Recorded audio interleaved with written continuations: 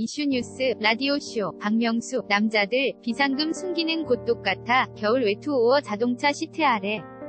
헤럴드 팝는 김지혜 기자, 박명수, 사진 낸 민선유 기자 박명수가 비상금 장소에 얽힌 에피소드를 풀어놨다.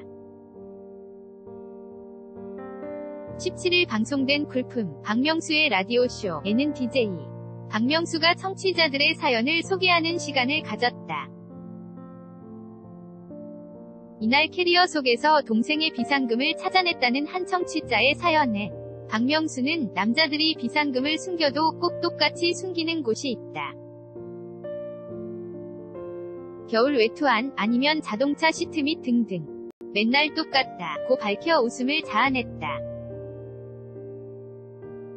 또 다른 청취자가 총각 때 외로움과 결혼하고 나서 아내가 집을 비웠을 때의 외로움 사뭇 다른 것 같다는 사연을 전하자 박명수는 결혼하고 나서의 외로움은 그리움이 아닌가 하는 생각이 든다고 밝혔다.